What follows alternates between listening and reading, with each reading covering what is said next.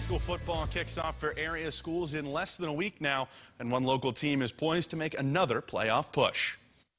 The Grafton Bearcats enter the 2022 season in brand new territory as first year head coach Mickey Foley takes over the program from Rich Board, who led Grafton to the playoffs for the first time in a decade last season.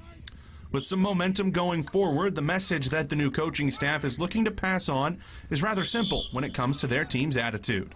One of the biggest things we're trying to teach these kids is you got to care more about your teammate than yourself. Uh, we can't play selfish football.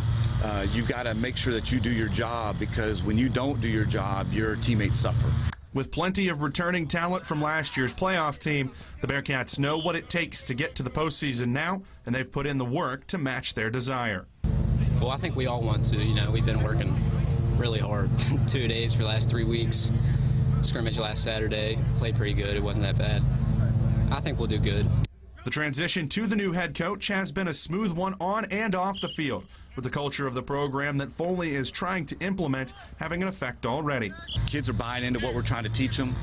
Um, the, as far as attendance and everything, we don't have uh, an attendance issue.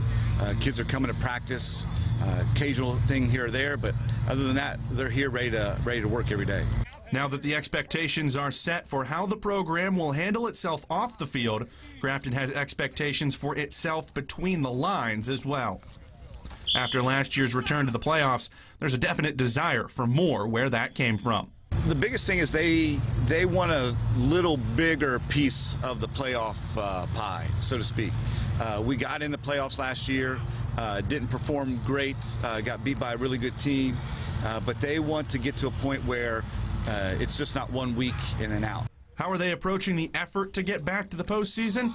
This coaching staff wants to see their players walk the walk instead of just talking the talk this season.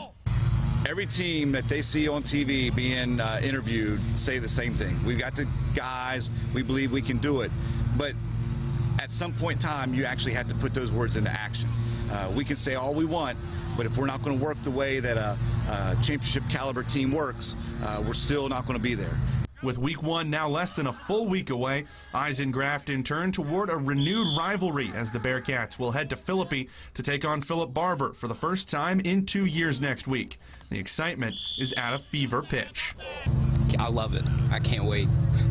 Cannot wait. Didn't play him last year. Cole Bowl's back. It's going to be a lot of fun.